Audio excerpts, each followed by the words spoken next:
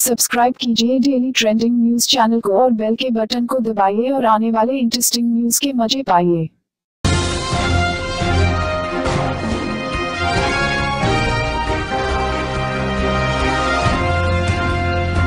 अरुणाचल प्रदेश और असम को बाढ़ से बचाने के लिए सरकार ब्रह्मपुत्र नदी पर बाँध बनाएगी। केंद्रीय जल संसाधन मंत्री उमा भारती ने यह बयान दिया है। उमा भारती ने पत्रकारों से कहा कि ब्रह्मपुत्र पर बाँध बनाने से चीन की ओर से आने वाले पानी के बहाव को नियंत्रित करने में मदद मिलेगी। गौरतलब है कि ब्रह्मपुत्र नदी चीन से बहती हुई भारत में आती है। उमा भारती ने यह घोषणा उस वक्त की है जब कुछ दिन पहले विदेश मंत्रालय ने खुलासा किया था कि चीन ने इस साल पानी के बहाव का डेटा भारत के साथ साझा नहीं किया है। गत शुक्रवार को विदेश मंत्रालय के प्रवक्ता रवीश कुमार ने हाइड्रोलॉजिकल डाटा नहीं मिलने की पुष्टि की थी।